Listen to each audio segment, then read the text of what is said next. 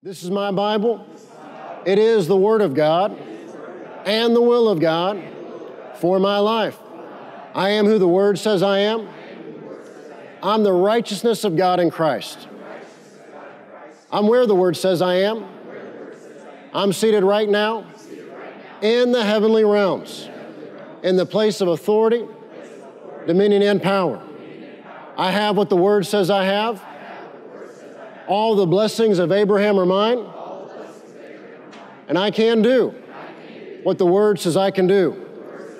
I can do all things through Christ who gives me the strength. Today, my mind is alert. My spirit is receptive. As I am taught the Word of God, my life is changed for the better, and I will never be the same again. May be seated. I've been encouraging you since the start of the new year not to miss a service, to invite and bring people. The Bible says that when we're rooted and planted in God's house, we flourish and we prosper. And that first testimony I shared this morning was from a man, and he's overcome many things, but he's here every Sunday, every Wednesday, faithful. That's part of walking in victory, is staying in an environment where you're hearing the Word of God and growing strong. We've got a course graduation coming up next Sunday, and if you're new to the church, want to take a moment just to explain that. We believe in studying to show ourselves approved and knowing the Word of God. In the cafe, there are many workbooks. Pastor's new workbook, Discipleship, is out there. He's got a new one, Phenomenal Bridges of Faith. We're working on getting that polished, revised. That'll be available soon. But if you're new to the church, the first workbook to do is called Laying a Firm Foundation. And it's there in the cafe. It's our membership course. 12 lessons cover the basics of what we believe. And that is one of the primary requirements for volunteering and helping out in the church. And if you're married, husband or wife, you can actually do this together. Now, don't let your wife do your homework for you guys. Amen. But you can work on it together, write both your names in there. But if you have finished laying a firm foundation or another workbook, put your name in it, get it turned into guest services by Wednesday night, next Sunday. We want to honor you for your study of God's Word. If you would turn in your Bibles to 2 Kings chapter 5. And today I want to talk to you about the God of a second chance. And praise God, we serve a God of mercy. We serve a God of grace. We serve a God of second chances. We've all needed it at one point or another. Say this say, I'm expecting a miracle. Say, in my life, God is doing wonderful things, good things. Say, I have a net breaking, boat sinking, harvest coming in. We've been learning how to receive miracles from God. We've been learning really how faith works. You can write your own ticket with God and you can achieve anything you want or desire. The key is to take four steps of faith. Number one, to say it. Number two, to do it, to take action. Number three, to receive it. And number four, to tell it. And these four steps can be found all throughout the Bible. Two or three of these steps precede nearly every miracle. And as we've seen, Sometimes the person who needs a miracle, they say it. They say something. Sometimes a man of God or a woman of God, they say it. Sometimes God Himself says it. Remember that faith comes by hearing, and hearing by the Word of God. You know, there, there's nothing wrong with good, godly entertainment. To watch a film that's okay to watch, see a movie that's okay to watch, to go to a Rangers game. There, there's nothing wrong with any of that but that's not how faith comes. Faith comes by hearing and hearing by the word. It actually says faith comes by hearing a rhema Christos, an anointed spoken word. And there are times when we're reading the Bible, or there are times where we're in church, or times when during the week you're, you're listening to a sermon. It could be a recent one, it could be something from 20 years ago, and God quickens something to you, to your spirit, the real you. God makes His word come alive. And when that happens, when we get a anointed spoken word or a rhema Christos, the key is to listen and to obey, to listen and to take action. In your life, God will do whatever you can believe Him for. And God will do, as we've been learning, He'll do whatever you say He will do on the basis of His Word. I read that testimony of a family in the church. You know, when you're a parent, it doesn't matter if it's the first baby, second baby, third baby, fourth baby, it is, a, there's no way to describe the experience. It's wonderful, it's awesome. They, they bring you the little blessing. But then somehow they, they make the whole procedure nerve wracking. I remember being so angry after Samuel had been born. I mean, he had been born, we finally got moved to the room, and, and they came in within like an hour and they wanted to check his hearing. And I, I, just wanted to throw those people out of his room. He is fine, his hearing is fine. Uh, we can do that later. But it's like, here we are to see if there's something wrong with your new baby. And so th- this family, though, they were facing an unusual situation. They were facing a challenge, and there were negative reports. And of course, because we live in this legalistic society in this lawsuit crazy society, doctors have to immediately say all the worst case scenarios. They have to automatically say, well, it could be this, it could be that, and all these negative things. And so for two weeks, they had to fight the fight of faith and to keep saying what God said and to keep believing and saying that, well, the doctor says it could be negative, but we're going to get a good report. They're going to do a test, but we're going to get a good report. They're going to do another test, but we're going to keep getting one good report after another. And this new year, lift up your eyes. And this new year, wherever you're at in life, believe God for more. He wants to do greater in your life. As I said a month ago, new levels require new depths. New levels require new action. We could say it this way new levels require greater action. And this new year, take the limits off and don't limit God in any way by a lack of faith, by disobedience, by just doing the same old, same old. Don't limit Him in any way. Take action like never before. Tell, tell one of your neighbors, say, take action. Take action. Tell your other neighbor, say, take action. take action. This is the key to take action. And don't resist the Word of God. Open up your heart today. Have ears to hear, have eyes to see. Open up your heart. Ask God, Lord, what would you have me do? Change your mind, change your heart, and take action to change your life. Why? So you can have God's best, so you can experience God's best in every area of life. I've shared with you Isaiah 119 out of the Living Bible. If you will only let me help you, if you will only obey, I will make you rich. See, God, He has a good plan for your life, but we have a part to play. We've got to cooperate. We've got to take action. There are some things we've got to do. I said a few Sundays ago if God's dealing with you about removing some things from your life, or no longer doing some things, or no longer hanging out with certain people, He's not trying to hurt you. He's not trying to hold you back. He knows that those things are hindering His blessings in your life. He knows those things are holding you back from the destiny God has for you.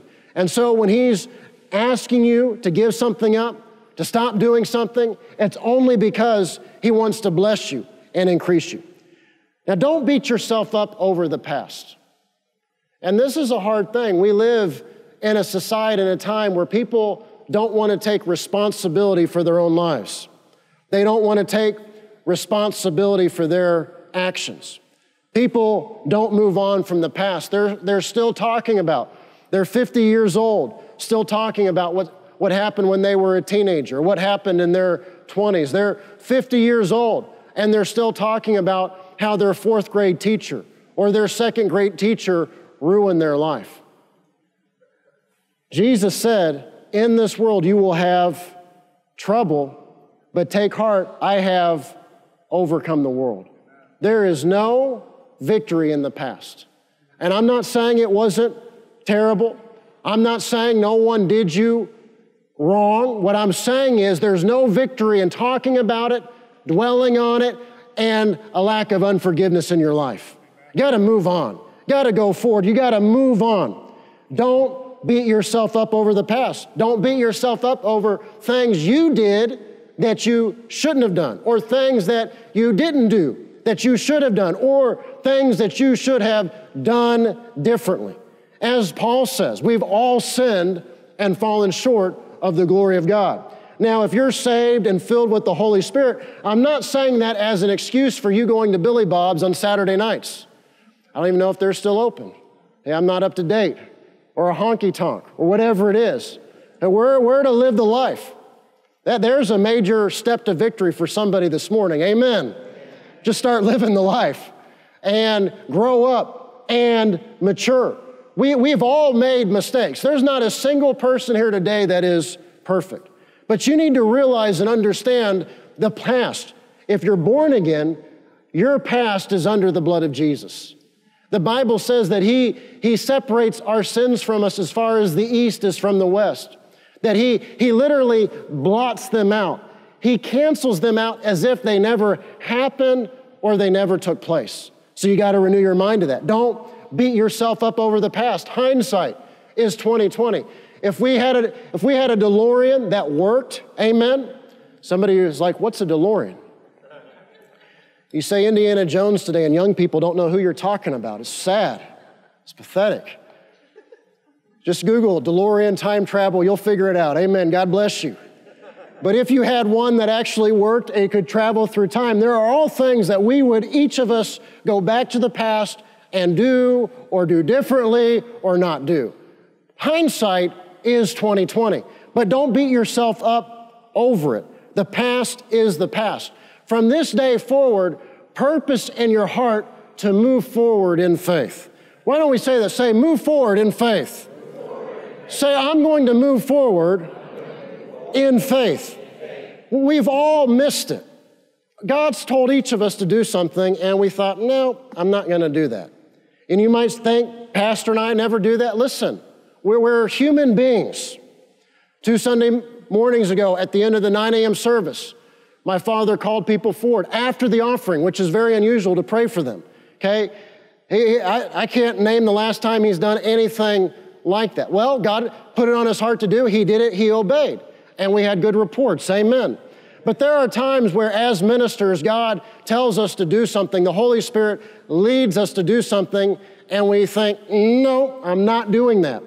when they were out of town at a 9 a.m. service, I just got really hot that morning. I don't know why. I, you know, I just got really hot. I sweated profusely, as they say.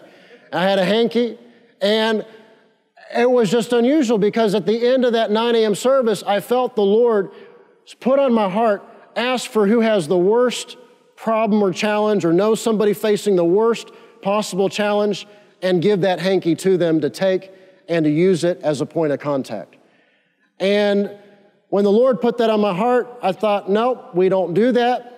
We don't ever do that. We don't do anything like that. I know it's in the book of Acts. They, they prayed for cloths and handkerchiefs, but no, there's so much weird stuff out there and on TV and on Christian TV. I am not doing it. See, He led me to do something here, but I made a decision here with my mind and I missed it.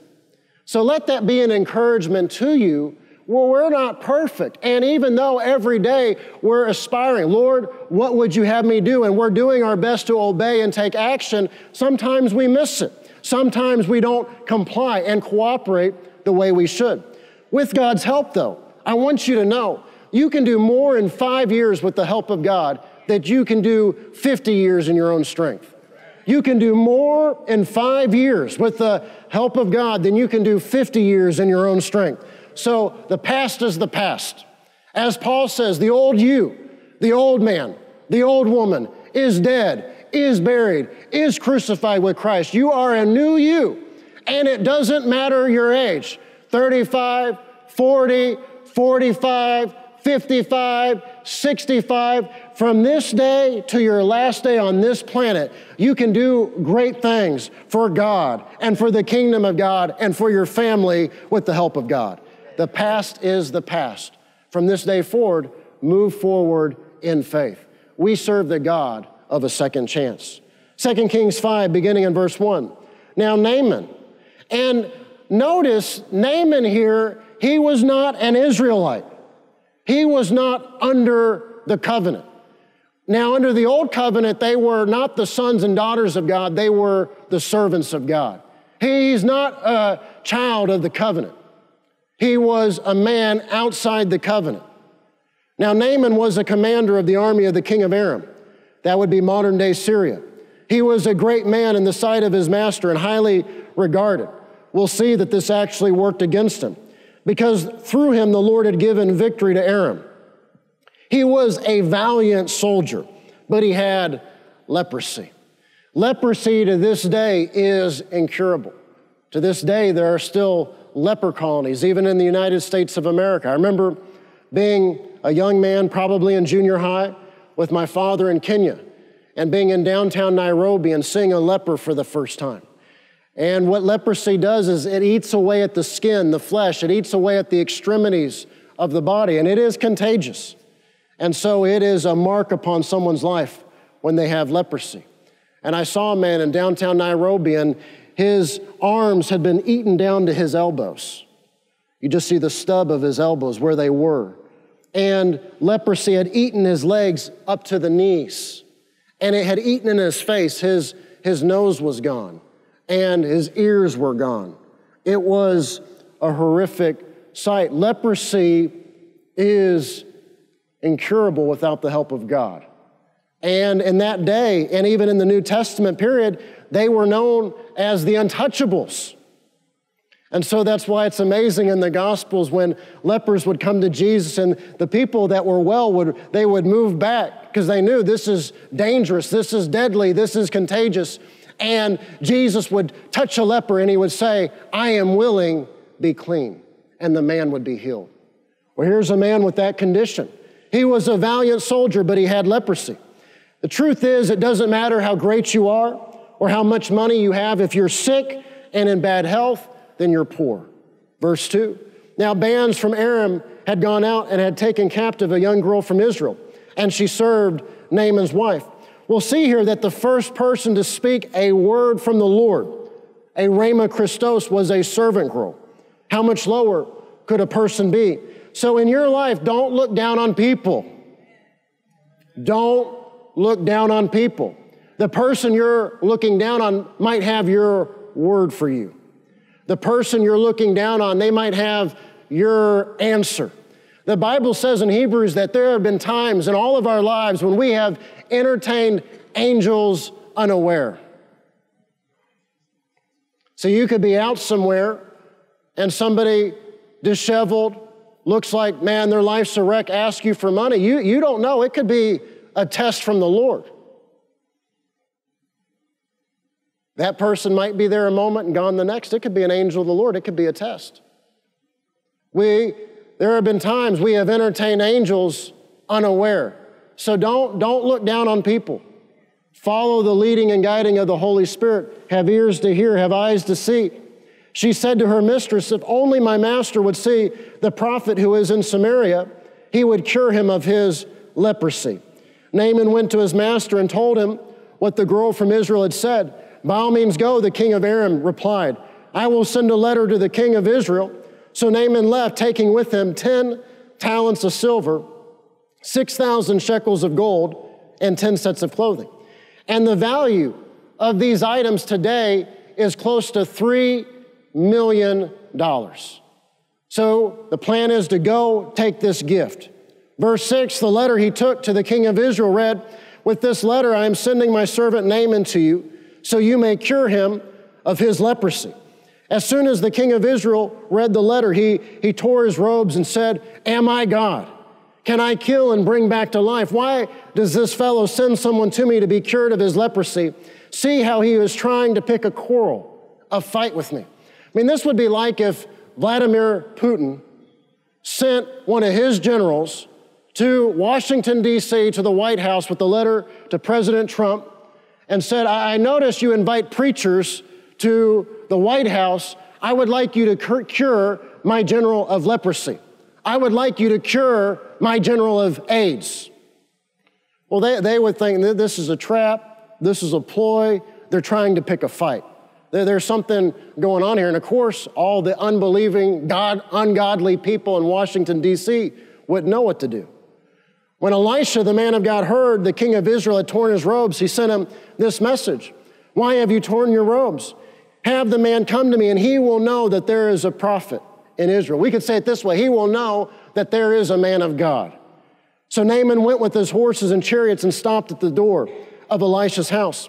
Elisha sent a messenger to him to say, Go wash yourself seven times in the Jordan, and your flesh will be restored, and you will be cleansed. Now, there, there's a lot going on here. It says Elisha sent a messenger. Now, now, this goes against all conventional thinking. Someone important. Elisha should go himself. It's someone important. Elisha should ask him how he wants it to happen. Elisha sent a messenger to say, Go wash yourself seven times in the Jordan, and your flesh will be restored, and you will be cleansed. Elisha wasn't impressed by the fact that this guy brought close to $3 million. He was not impressed that this man was a general. Elisha didn't even go out to meet him himself. He didn't invite him to dinner. He didn't offer to pray with him or lay hands on him. Elisha simply said, How? Through a messenger.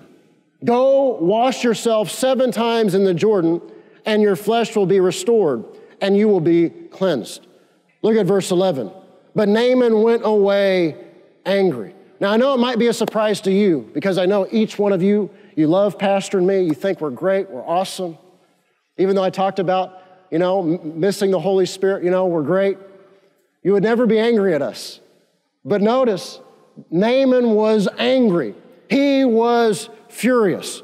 Look at what he says. I thought Elisha would surely come out to me and stand and call on the name of the Lord his God, wave his hand over the spot, and cure me of my leprosy.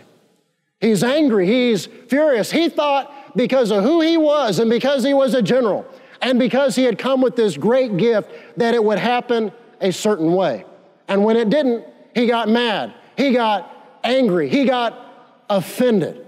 You know, in our lives, we miss it when we want to tell God how to do it. Now, we're learning in this series how to receive miracles, but let's deal with a little bit why people don't receive a miracle or why people miss a miracle. It's because sometimes they want to tell God how it is supposed to happen. I mentioned two Sundays ago, 9 a.m., my father called people forward, said the first three people here. Well, I, I thought we would do it a different way. And I'm mad. He said the first three people. I don't exercise much. I can't get there in time.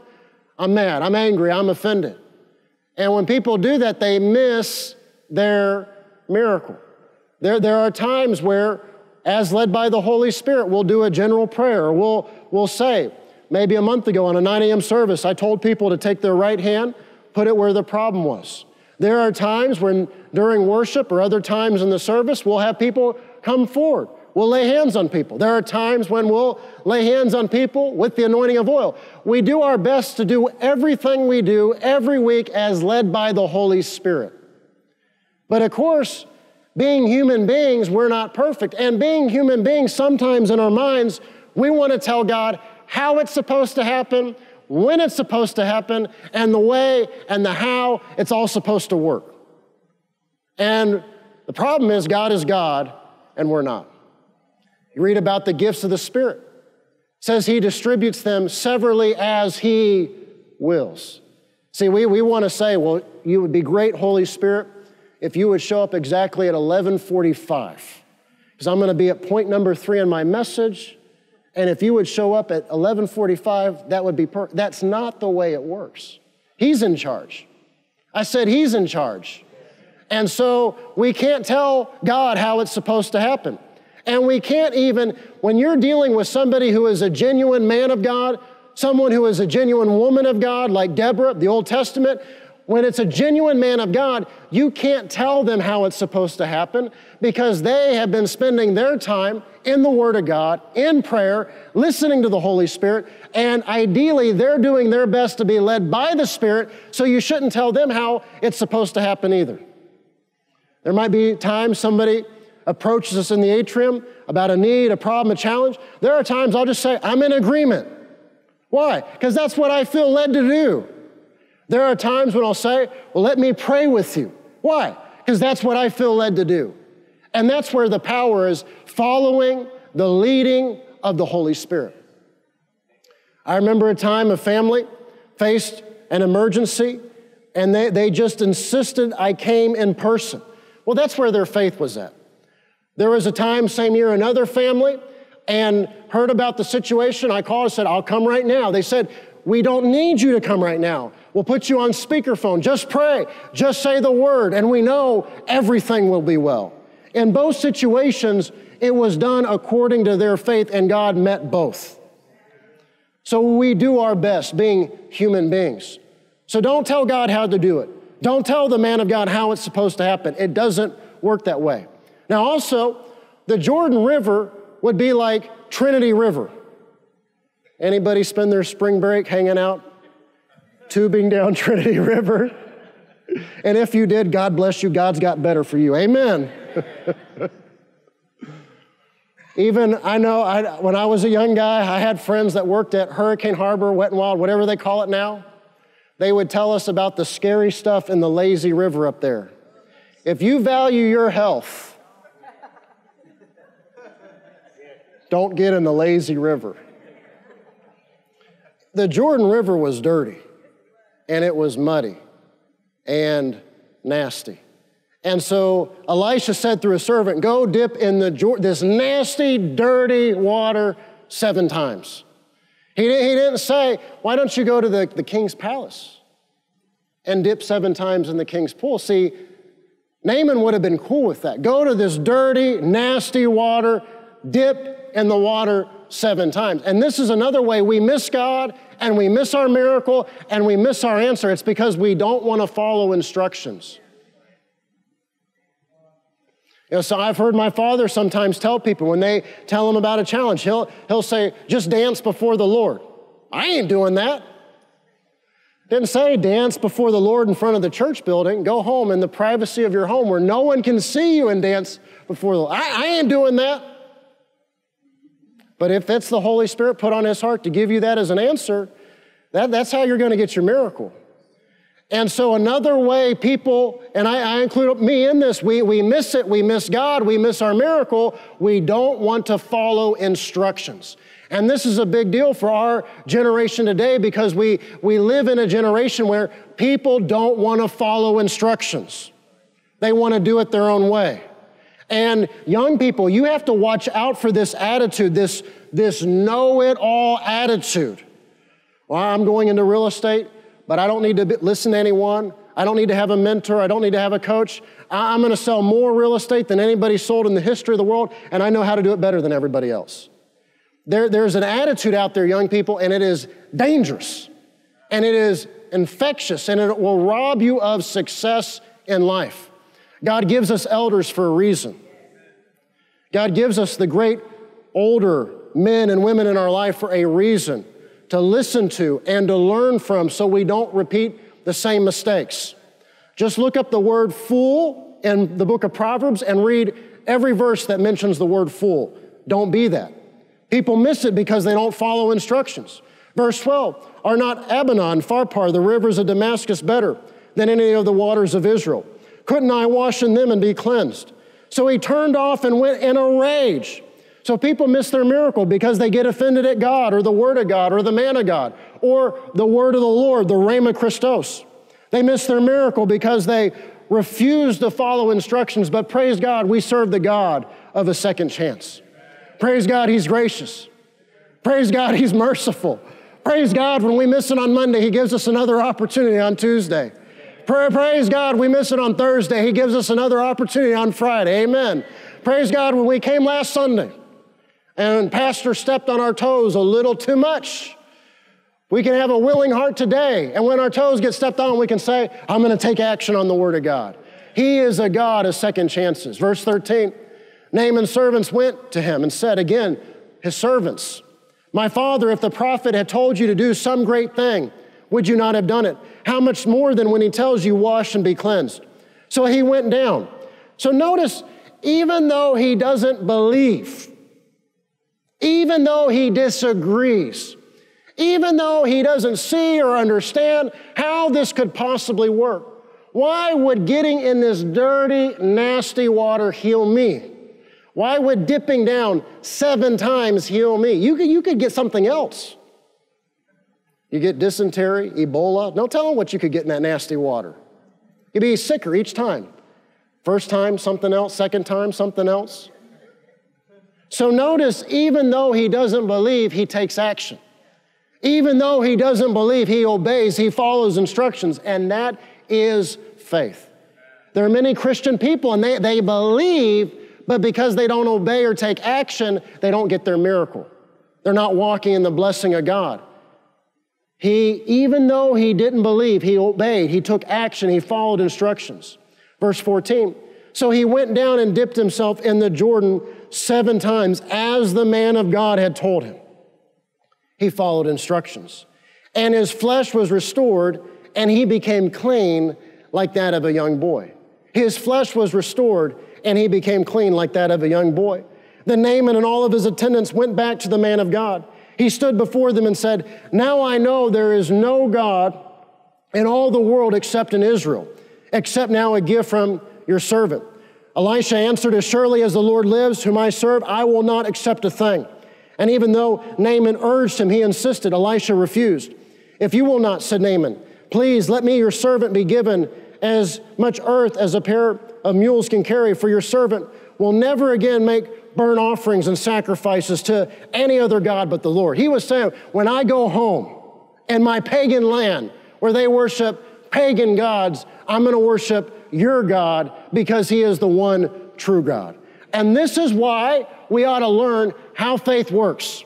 This is why we ought to learn how prayer works. This is why we ought to be on a mission, a pursuit to see miracles and answer prayer in our lives because that is a witness to a lost and hurting world that there is one God and his name is Jesus Christ. There is one Savior and his name is Jesus Christ. There is one who is alive today and his name is Jesus Christ. There is one who hears and answers, and he is Abba God. He is Father God, and he is the God as Elijah. Elisha's predecessor learned there is one who answers with fire. There are people, they're doing all this effort, no answer. You pray a simple prayer to our God, and boom, the answer comes. That's the God we serve. Jesus said it this way ask and you will receive, and your joy will be complete. I can't say it without getting happy. Ask and you will receive, and your joy will be complete. Earlier in the year, I said Christians ought to be the most happy, joyful people. A young person was mad at me. You're young. You're not married yet. You don't have anyone to support. You're not changing poopy diapers every day of your life when you get up. you ought to be happy. Amen. All, you got to do is pass school. Come on. And work at Chick fil A and pay your tithe and Savior. What, do you got to be sad about? Ask and you will receive, and your joy will be complete. Amen. Father, I told, I told Jessica, one of our miracles this year is our son being potty trained. And I'm going to add that to our, my miracle list because I mean, We've had some big miracles the last two years, but that's going to be a big miracle. Amen. number one, step number one, a servant girl said it, Elisha said it, and then Naaman's servant said it. A servant girl said it, Elisha said it, then Naaman's servant said it. The servant girl said it first. She said to her mistress, If only my master would see the prophet who is in Samaria, he would cure him. Then Elisha said it, verse 10 Go wash yourself seven times in the Jordan and your flesh will be restored, and you will be cleansed. Finally, Naaman's servant said it. Verse 13 They went to him and said, My father, if the prophet had told you to do some great thing, how would you not have done it? How much more than? How much more than when he tells you, Wash and be cleansed? Step number two, number two, Naaman did it. He obeyed, he took action, he, he did what Elisha said do. Even though he didn't believe, he obeyed. Even though he didn't believe, he took action. And there are times when God's putting something to do on our hearts, God's telling us something to do. There are times when on a Sunday or Wednesday we hear a word from God and we know what we should do here, but our mind is fighting us every step of the way. Could, could God really? Could He really? That, that seems too hard for God. That seems too big for God. And we can't get our minds around it here, but we know what our hearts are telling us to do. Naaman didn't believe it, yet he did it and he got his miracle. He didn't believe, but he took action and got his miracle. And as I said, he did what so many people refuse to do he followed instructions. He followed instructions and he got his miracle. He went and dipped himself in that dirty, nasty, unclean water seven times, as the man of God had told him. His flesh was restored and became clean like that of a young boy. Step number three, Naaman received it. His flesh was restored and became clean like that of a young boy. Then, number four, Naaman told it. He told all of his attendants and went back to the man of God and said, Now I know there is no God in all the world except the God in Israel. So someone said it, Naaman did it, then Naaman received it, and then he told it. There is no God except the God in Israel. Our God is the God of a second chance. We've all missed it. We've all made mistakes. We've all failed to take action when we should have taken action. We've all missed God. God's told each of us to do something, and we thought here in our mind, no, uh, mm, I'm not going to do it. We've all done it. If you haven't already, ask God's forgiveness. The past is the past, it's under the blood of Jesus. Now move forward in faith. Say it, do it, receive it, and tell it. Move forward in faith. Our God is the God of second chances. And as I've been saying, obedience and action are the keys to your breakthrough. In 2019, take new action, take greater action, take action, take action, take action, and you will be amazed at what God does in your life. He wants to do exceedingly, abundantly, above all you can ask, think, or imagine. Take action and just watch what God will do. Amen.